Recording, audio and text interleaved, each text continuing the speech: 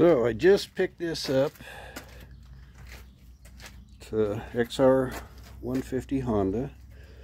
I had to go down to North Platte, Nebraska, which is 350 miles away to get it because they're in very short supply. So this is going to be my first ride. It's got two miles on it. I'm just merely going to go around the block and uh, do a little video while I'm doing that. So, see what kind of a view we get here. Yeah, it looks all right.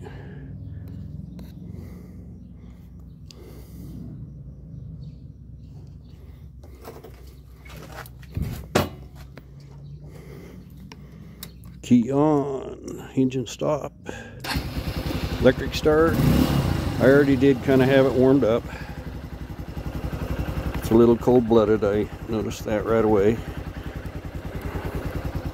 So, here we go. Oop. I haven't been on a motorcycle in a while.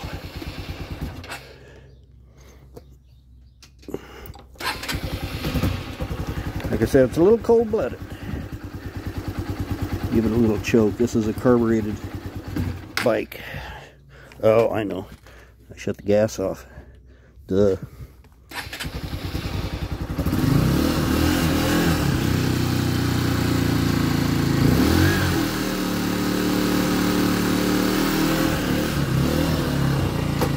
Okay, now we go.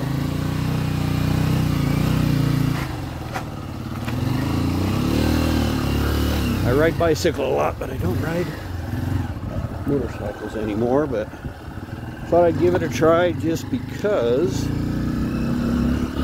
the gas mileage.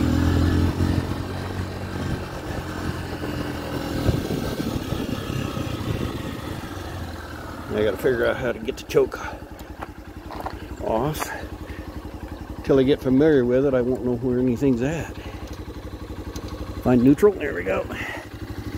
And there's the choke. Okay. Should be warm enough now.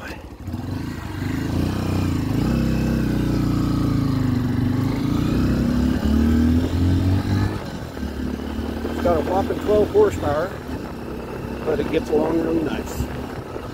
Like I say, it's only got two miles on it, so I'm not going to be pushing it at all. Drum brake in the rear, disc in the front. They uh, a lot of stopping power. Does not, of course, have ABS or anything like that.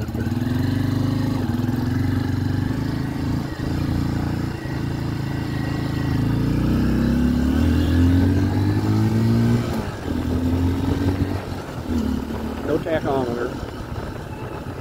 So you just kind of shift it by ear, I guess. I'm still in the braking period, so I'm not going to be getting rowdy with it.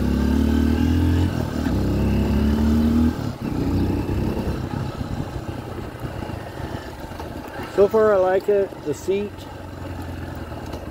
they've got a stepped seat on it and it kind of pitches me forward. I mean I got to sit towards the front of the seat and I'm I got long legs so it's not the ideal you know uh, maybe I'll um, do something like after it's out of warranty probably I think I'll uh, probably take that see if I can't take this seat cover off carve that foam down to make that flat and then restitch or something. I don't know. It's it's just I wish that step wasn't there. Other than that I love it. It's uh I think it's gonna be good. Over 100 miles per gallon. So later